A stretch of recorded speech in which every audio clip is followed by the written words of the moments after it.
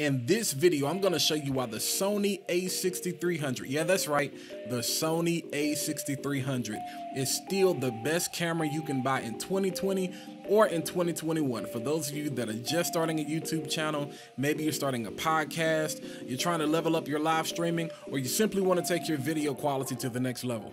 Let's get into it.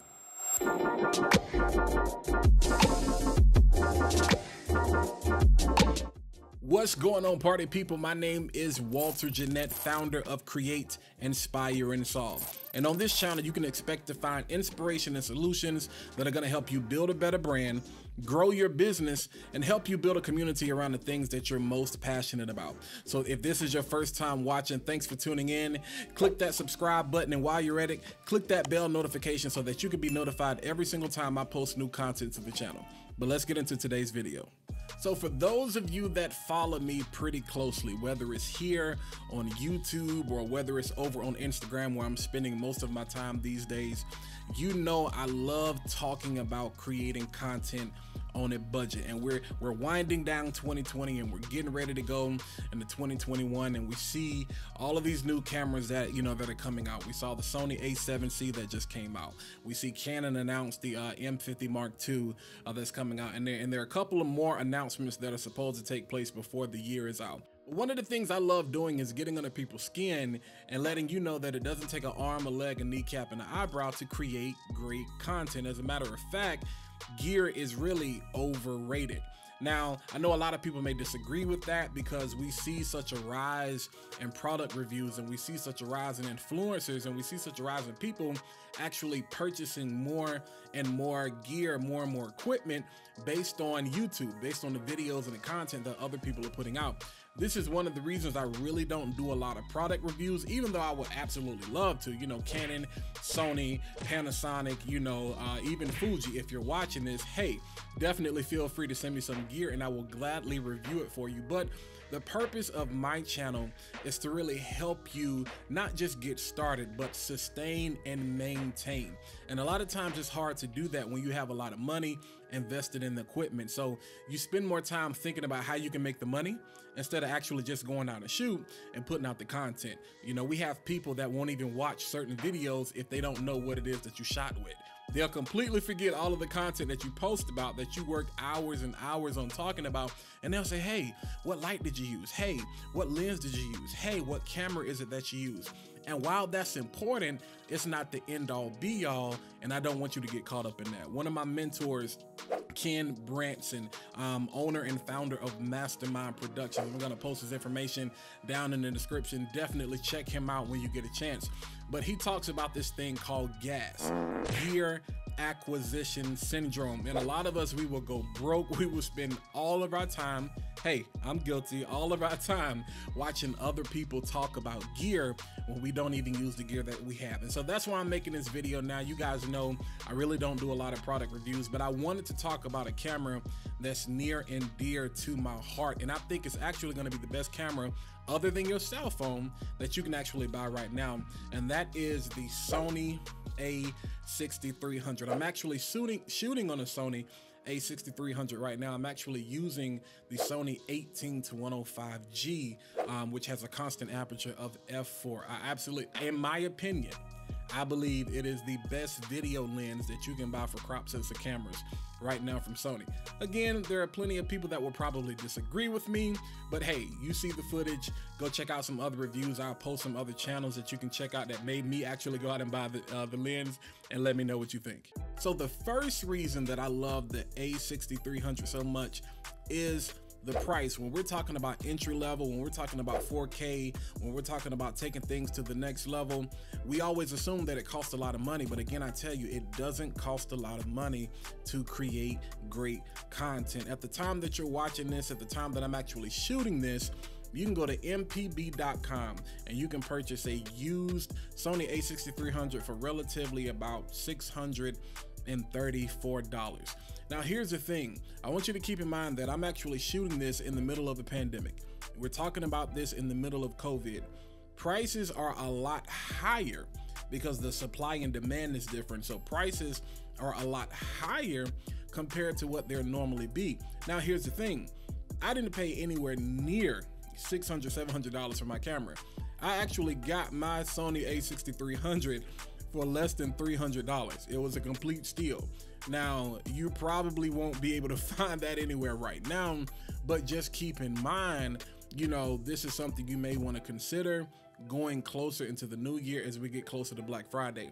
Now, there are some of you that say, well, hey, Walter, the Sony a6400 is a much newer camera and I can go get that on B&H for a couple of hundred more dollars. Absolutely. You definitely can. I think it's like somewhere around $850 if you were to get the A6400 and then like the A6600 I believe is roughly around $1,300, $1,400. Maybe let's just, let's be safe and say $1,200, $1,300 um, for the A6600. But still, we're trying to get as cheap as possible because we're talking about body only. So regardless of whether the 6400 is just a couple of hundred dollars more, that could be a huge stretch depending on what your budget looks like and we still actually have to get the lens, okay? I'm shooting again on the Sony 18 to 105. I think you can get that on MPB. You know, I'm dropping all of the links down in the description for roughly about between four and five hundred dollars used. Um, something like I have on the camera here, the um, Sony, the, the, the, Sigma, the famous Sigma 16 millimeter with the with the beautiful f um, 1.4 app, you know, f-stop, the aperture. I think this is going for roughly about $400 right now because I think the Sigma 30 miller f, I can't talk. The Sigma 30 millimeter f1.4 is actually going for around about 350 or something like that, but you may be able to find find a better deal um, used. But again, number one is the price, you know. So I, I could definitely tell you, hey, get the 6400 and all of these features. Get the 6600, all of these features. But if budget is a huge concern, then definitely the 6300 is going to be the best thing for you. All right. Reason number two that I love the A6300 so much is the image quality. Again, you're actually looking at the Sony a6300 right now. I'm actually going to link, as a matter of fact, let's just watch it. Let's just watch it. I'm, I'm gonna show you real quick. This is a video that I made when I first got the camera. It's called Long Day. One of the things I love to do when I come home is just drink a glass of ginger ale with some ice. And so look, I want you to take a quick, uh, quick look at this video just so you can be a better judge of what the image quality looks like versus maybe a talking head video like you're looking at right now.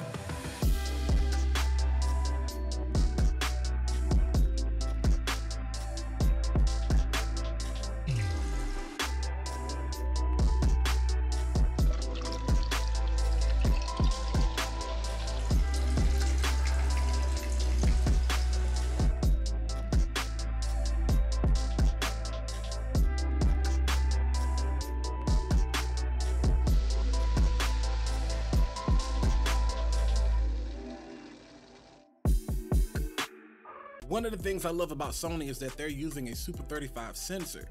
So it's really a 6K image that's actually being compressed down to a 4K image. So you get way more pixels into that picture and that's what makes it so sharp that's what makes it so buttery that's what makes it so clean and that's the second reason. Look for those of you that are trying to make the transition from 1080p and you're like yo i gotta get into the 4k game this is definitely a camera that you want to buy. All right, and the third and final reason, well, not really final because there's some other things I love about the camera as well, but the third reason I'm gonna give you why I love the A6300 is the clean HDMI out. Now, this really affects those of us who use our mirrorless or DSLR cameras to actually stream, all right? You actually wanna record straight to Facebook, stream live to Facebook, um, YouTube, or whatever, you know, service you're actually using to go live. The one thing I love about Sony's over Canon, Panasonic, and all of these other places that it just works right at the camera. All you have to do, go inside the settings, turn off the HDMI information, and bam, you got clean HDMI out. So that's not something that's specific to the Sony a6300, but it is another plus. So the three main the three main selling features of this camera, number one is the price. You can't beat it. Number two is the image quality that you're getting for the price. And number three, because we're living right now in a digital age, everybody's using Zoom, everybody's using Google Meets, everybody is live streaming on Facebook and YouTube. It's the clean HDMI out. Now, like any good thing, it does have its cons. There are definitely some things that I do not love about this camera, okay? Number one, the first thing we can talk about is actually the overheating. And this is not so much a Sony a6300 problem. This was a Sony problem um, with the earlier model of cam earlier model of cameras, the mirrorless cameras that they were coming out with. They generate in the battery compartment a lot of heat. But again, one of the ways around that is if you have to shoot with battery, you definitely want to consider um, definitely putting a cage. That's number one. Putting I have a SmallRig cage with the wooden handle on this. You want to put a cage on it so it helps dispense the heat. Number two, you also want to make sure you shoot with the flip screen. You also want to pull that away because all of your heat is really generating back here. And number three, you also want to make sure you leave the battery door open. That's another trick with Sony. You can actually leave the battery door open and still shoot versus some other brands where the camera is going to cut off if the battery door is not closed. Now, um, in addition to that, you can also buy a battery grip, you know, which helps dispense the heat as well um, and not gonna, you know, not gonna make it overheat as quickly. One of the things I love doing is like I'm doing right now, I actually have my camera plugged into an AC adapter. And let me tell you, I have ran this thing for hours at a time. I have literally left this thing running for hours at a time and forgot to actually turning off.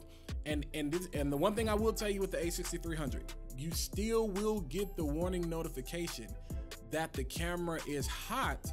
However, it will not shut off. So I know there may be some of you that's like, no, you still get the notification. You will get the notification but the camera will not shut off. It will still run. And even with it plugged up, I still do things like pull away the um, pull away the actual screen, open up the battery door, and actually keep that cage on, okay? So number two, the thing I hate about it, you know, since we're talking about power and batteries, the battery life. Again, this is not a A6300 problem. This was a Sony problem because if I'm not mistaken, Sony didn't start using new the new um, NPF batteries until maybe the A6600. Don't quote me on that. Do not quote me. I believe it was the A6600 where they started using their newer batteries where you get much better battery life out of that. But again, it depends on what you're actually using it for. If you're doing talking head videos like this inside of your office, studio, or whatever, again, get you an AC adapter and actually plug it up. Um, or get you a battery grip. Or one of the things I love is that you can actually rig this out. And I've done this before. What I did was actually buy some um, of the rods um, that go along with the actual cage.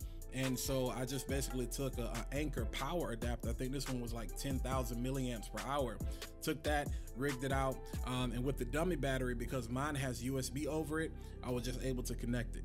You don't want to power, it's not going to work if you try to do it over USB. It's still going to die, okay? The, the A6300 is not built like that. But if you have the dummy battery, you can plug that into an actual um, external battery, um, external battery charger, and it will work like that, okay? And the last thing that I really hate about the Sony a6300 is that it doesn't have an articulating screen as you can see. Um, the a6400 and the 6600, if I'm not mistaken, they actually flip up. Mine does not flip up all the way. So, you know, I'm not really able to monitor myself right now because I shoot videos all the time. I don't really need to see myself. I'm good. I'm looking directly in the lens. There's nothing I need to check. There's nothing I need to reference. But for those of you who may be a beginner and you need you may need to get used to shooting more often, that definitely could be a caveat. But nevertheless, you know, it still works, you know, as it needs to. Um, I think it's a great buy. There definitely are some things that I don't like about it, but for everything that I don't like about it, there is an actual workaround. Okay. All right. So let me know. How do you feel? Did you ever own the A6300? Is it something that you would consider buying? Maybe it's something you would consider using as a B cam. I know a lot of people use it to actually take pictures when they're out on the go, you know, which is something I do as well. Um, but also let me know what is it that you're shooting with? What is it that helps you create content on a more consistent basis? I want to hear from you. But again, thank you for watching. Again, click that subscribe button if this is your first time watching. And again, hit that bell notification so you can be notified every single time I'm posting new content to the channel. Until next time, you guys have a great rest of your day.